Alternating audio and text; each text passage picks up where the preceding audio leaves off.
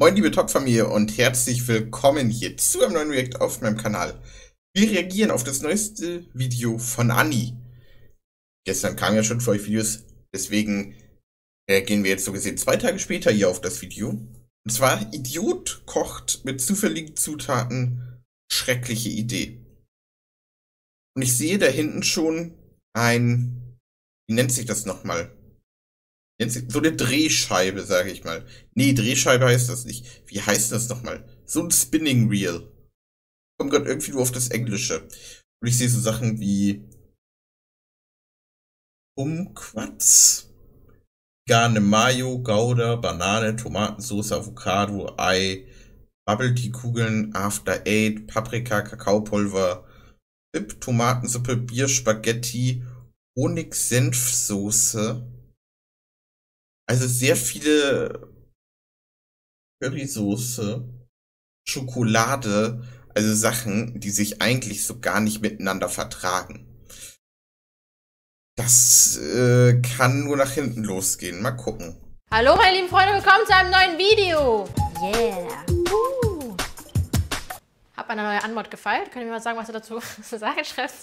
Heute gibt's, wie ihr sehen könnt, noch ein geiles neues Video. Und zwar machen wir ein Kochvideo, wo ich ein Gourmetgericht zaubern muss aus vier bis fünf random Zutaten, die wir hier uns erdrehen werden. Und ja, weil ich eine so unfassbar gute Köchin bin und wirklich richtig gut in der Küche bin, machen wir jetzt dieses Video. Weil ich kann aus allem was Geiles zaubern. Okay. Gourmetgericht. Wir haben uns natürlich ein paar geile Sachen ausgedacht, die hier drauf kommen. Bubble Tea Kugeln Kugeln liebe ich. Hier ein kleiner Clip. Oh, oh.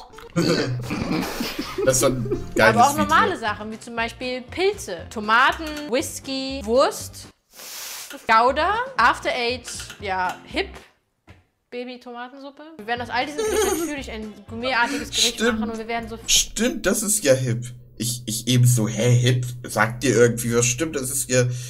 Die mag ja vom Babybrei, sag ich mal. Das kann nur nach hinten, das kann nur nach hinten losgehen. Vier bis fünf machen. Also wir gucken mal vier, wenn ich das Gefühl habe, ich kann aus vier ein gutes Gericht machen. Wenn all diese vier Sachen nur Flüssigkeiten sind, dann drehen wir noch fünf. Oh, oh mein Gott. Wir haben dann fünf Zutaten, so ungefähr. So ungefähr. Vegane Mayo. Zweitens, Paprika. Paprika hatten wir schon. Erdnüsse. Okay, ne? Okay. Ananas. Vier. Ach, noch ein. Ach, noch ein. Bier. Oh. Mayo, Paprika, Ananas, Erdnüsse, Bier. Also Bier zerstört alles. Aus den anderen hätte man was machen können. Aber zumindest hätte ich vielleicht zwei Sachen gemacht. War Ananas? Ja, hm. Hm. Aber, ja, ja. Weil bei Ananas ist, ist ja so dieses Süßliche und das so mit Paprika in Verbindung. Ja, okay, gibt's auch so gefüllte Paprika? Das hätte man theoretisch machen können. So eine gefüllte Paprika. Aber jetzt mit Bier? Gar kein Thema. Wir gehen erstmal kurz einkaufen. Wir sind zurück und machen jetzt das Gericht. Aaron. Aaron. Willst du trinken? Süß. Ach, wir sind Freunde! Ja, Sisi. Jan mochte das nicht. Es ist fucking 1 Uhr morgens, es ist so spät. Ah, wir waren einkaufen, haben alles besorgt, damit ich mein Gourmetgericht kochen kann. Eine Karotte. Wie heißt das nochmal? Paprika. Paprika. Eine Paprika. Erstmal, das PA ist erstmal groß geschrieben, auch geil. Aber erstmal diese Wer wird Millionär-Mucke einbauen. Geil, Stefan. Erdnüsse, vegane Mayonnaise, Bier, Dosenananas. Wie bringe ich das Bier unter? Ja. Pass auf, man könnte, man könnte die Paprika gefüllt machen. Im Backofen vielleicht. Ja. Dann machen wir in der Pfanne, rösten wir die Erdnüsse ein ja. paar und dann geben wir die Ananas. Vielleicht ja. können wir die Erdnüsse ja auch nutzen, um die Ananas zu panieren und dann zu braten. Das macht keinen Sinn, man kann Erdnüsse nee. nicht panieren. Wir machen eine gefüllte Paprika. Und da wird. Ja, wie mache ich das mit dem Bier? Easy. Ja, kein Plan. Also da habe ich aber auch keinen Plan. Pass auf, ja, wenn ich jetzt überlege und ich hätte diese Zutaten, also ich auch sofort gefüllte Paprika. Easy. Sofort. So. Jetzt mal eben so überlegen. Ich würde ein paar Erdnüsse nehmen und die anbraten. Ähm, dass die so ein bisschen bräunlicher sind. Könnte gut schmecken. Die Ananas, überleg gerade, die würde ich so in die ähm, Paprika packen. Wird warm. Würde ich nur so ein bisschen trocknen, dass das halt nicht so wässrig ist. So, und was war das noch? Was war nochmal die andere Zutat? Ich muss mal gucken. Hier. Kann man Bier kochen? Kann man Bier in Back? Ach, Mayo. Ich würde Paprika zuerst mit Mayo von innen leicht bestreichen, weil es ist keine Mengenangabe gegeben. Dann würde ich schon, ich sag mal, so eine Handvoll Erdnüsse nehmen und ein bisschen auch von der Ananas und das dann so durchmixen. Ähm, Ananas würde ich aber nicht anbraten, die Erdnüsse vielleicht nur ein bisschen zumindest. Ananas könnte man aber auch anbraten. Man könnte beides zusammen in eine Pfanne anbraten, dann beides in die Paprika, die schon ja bestrichen ist mit dieser Mayo und dann könnte man den Deckel oben drauf machen wieder bei der Paprika und dann ein bisschen Bier von oben so runterfließen lassen. Vielleicht aber für Geschmack. Also das wäre jetzt so das einzig Logischste. Backofen tun? Ich stelle mir vor, eine Auflaufform, Bier. Paprika ins Bier, oben aufschneiden, schön voll Ah. machen mit einer homogenen Masse aus Erdnüssen, Mayonnaise und Ananas. Deckel Ja. drauf. In den Backofen dünsten. Wir mahlen die Erdnüsse, machen die Ananas klein, braten sie in der Pfanne an und mixen das dann kalt, also aus der Pfanne raus und dann schön mixen Ja, mit der ist Mayo. Das ist grauenhaft. Warum habe ich mir dieses Dings ausgedacht? Das wird schrecklich. Guck mal, Pfanne steht schon bereit. Boom. Bisschen Öl. Okay, während das warm wird, können wir vielleicht kurz. Denk dran, du hast bei der Ananas den Ananassaft und die Ananas. Ne? Das sind quasi zwei Komponenten. Vielleicht den Ananassaft mit dem Bier mischen? Das klingt grauenhaft, aber okay. Ah. Hier haben wir die Ananas. Wäre auch eine Möglichkeit. Toast Hawaii ohne Toast, ohne Schinken und ohne Käse. Das und dann nehmen wir Erdnüsse. Kurze Frage. Mögt ihr Ananas? Und das frage ich aus verschiedenen Perspektiven. Mögt ihr Ananas als Frucht? Da sage ich ja. Mögt ihr Ananas auf Pizza? Also eben Pizza Hawaii? Sage ich nein. Mögt ihr Ananas?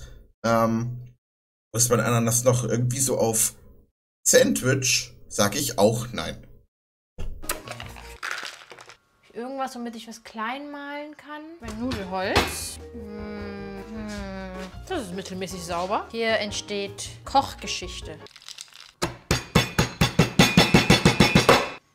Das hat nicht funktioniert. Oh Mann.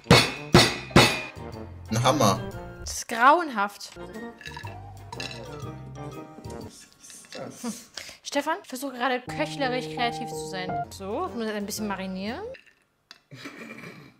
Das Öl in der Pfanne ist sehr heiß. Es die Ananas, dadurch, dass das nicht kleine Stücke sind, was ich erst dachte und jetzt kreise, hätte ich die auf jeden Fall durchgeschnitten.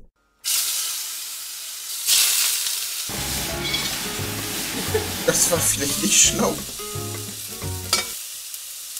Die Ananas ist angebrannt. So muss das. Äh, wenn die Erdnüsse schwarz sind, ist es fertig. Mm, das riecht nach. Obwohl, das geht. Als nächstes bereiten wir unsere Füllmasse vor. Wir schneiden dann die Paprika auf. Gott, das ist grauenhaft. Ich weiß nicht warum, ich hatte früher als Kind immer Angst vor Paprikas. Aber ganz ehrlich, das sieht auch fucking unheimlich aus. So kannst du mir nichts erzählen. Ja, und dann ähm, füllen wir das mit der Erdnuss-Ananas. Sieht aber lecker aus. Und als nächstes packen wir die die Avocado. Paprika. Paprika. Mein Gott, Äh. warum fällt mir dieses Wort nicht ein? Wie müssen wir die fixieren? Dann Als, nehmen wir die. als ob sie sich das Wort Paprika nicht merken kann. Äh? Paprika ist, ist. Also, Paprika warm mag ich gar nicht. So im Salat, in dem Sinne, vollkommen esse ich gern. diese Stäbchen, die ich im Chinaland geklaut habe. Höchst professionell haben wir das hier jetzt fixiert, dass sie nicht umkippt. Und dann bereiten wir jetzt die, die, die, die Badewanne vor. Dafür nehmen wir gutes Berliner Kindel. Oh Gott. Oh, es riecht. Nee. Nee. Oder? Ich habe keine Ahnung. Hast du es leer gemacht? Ja. Und dann packen wir noch. Der hat einfach die ganze Dose genommen. Bisschen Salz. Bisschen Pfeffer. Bisschen Pfeffer. Also die Sachen, die ich gewürfelt habe, waren wirklich schwierig. Als ich so Bier drauf geschrieben habe, war ich so, oh cool, wenn man irgendwas anbrät, dann kannst du es mit Bier ablöschen.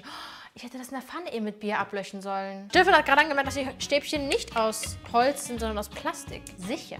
Fühlen sich sehr plastikig an. Ich glaube, ich habe nichts anderes. Wenn die jetzt im Ofen schmelzen, das wäre gar nicht geil. Dann, haben- dann, ist es eine, also dann ist es wirklich eine komplette Fail-Katastrophe. Aber wir können sie vielleicht so in den Rand stellen. Ist ja nicht so, als würde die weicher werden im Ofen. Stefan. Sie einfach rein. Kannst du aufhören, so übel pessimistisch zu sein? Das ist grauenhaft. Mmh, die warme Erdnuss. Ja, Freunde, das ist eine sehr krass gefailte erste Folge. Mal gucken, vielleicht schmeckt sie auch aus welchem Grund auch immer doch super lecker. Mich würde mal interessieren, wie ihr das gelöst hättet. Was hättet ihr aus diesen fünf Zutaten gekocht? Wir sind aber noch nicht fertig. Ja, wie gesagt, Ja, also wie gesagt, ich hätte das mit der Auflaufform nicht gemacht. Ich hätte das vielleicht dann doch so ähnlich mit dem Ablöschen vielleicht gemacht, aber ich hätte auch die Paprika auf jeden Fall aufgeschnitten, gefüllt, hätte die Ananas aber noch kleiner gemacht, vielleicht ein paar mehr Nüsse, so von der Menge, dass es sich ja halt ausgleicht. Ähm, und dann, wie gesagt, hat sie schon diese, hat sie schon Senf oder diese Mayo benutzt? So, das hätte ich nämlich zum Beispiel zuerst gemacht, dass ich das so von innen leicht bestrichen hätte mit dem Messer, Paprika. Ähm, und mit dem Bier, ja, vielleicht dann doch so dieses Ablöschen. Das heißt, ich brate halt Ananas und die Erdnüsse, oder zumindest nur die Erdnüsse, dann die Ananas mit dazu und dann so ein bisschen, ein bisschen weil Zutaten müssen ja nur dabei sein. Das heißt ja nicht, dass man alles aufbrauchen muss. Und dann so ein bisschen Bier dazu, vielleicht für diesen Geschmack. Ich glaube, so hätte ich es eher gemacht. Ja, die Mayonnaise noch. Dann in einem Topf. Und die Mayonnaise. Aus der Mayonnaise machen wir eine Chili-Mayo mit Chiliflocken. Warum ist Ich glaube, das? die ist schlecht. Wir stellen Aha. uns vor, wir dippen das später in Chili-Mayonnaise. Gott, warum geht immer alles schief in meinen Videos? Wie kann das sein? Na gut, warten wir mal die acht Minuten, bis das Ding im Kühlschrank, im Kühlschrank, im Backofen fertig ist. Was ist denn mit mir? Ah, die ist so vollkommen Probieren wir verwirrt. das. Ich, prob ich probiere das einfach. Du auch, Stefan. Wir probieren das. das, das ja. Wie schlimm kann das schon sein? Das wird hm, zwei Uhr mal morgens. Oh, schau mal, wer da klingelt. Das sieht furchtbar aus. Grauenhaft. Oh Gott.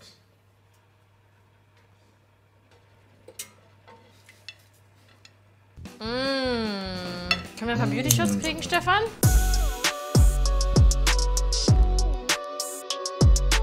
Diese Paprika stinkt nach Bier. Aber ich habe das gekocht. Ich bin stolz und ich werde es probieren. Ich fände es richtig cool, wenn ein Koch sich das Video anguckt und sich denkt, hä, die Zutaten easy und so ein geiles Gericht draus macht und dann mich bloßstellt. Ja, hier Pizmeat soll man nachmachen. Klo macht Geräusche. Naja, während wir dem Sound von diesem sich selbst reinigenden Katzenklo lauschen, probieren wir dort diese in Bier getränkte Paprika. Der Magen ist zum Glück auch selbstreinigend. Und so schlecht kann es nicht schmecken. Es fehlt ein bisschen Salz. Aber, I mean, ist echt okay. Probier mal, Stefan. Reißt du dich gerade wieder noch echt hart zusammen, damit ich es noch probiere? Das ist echt legit nicht gut, nicht schlecht.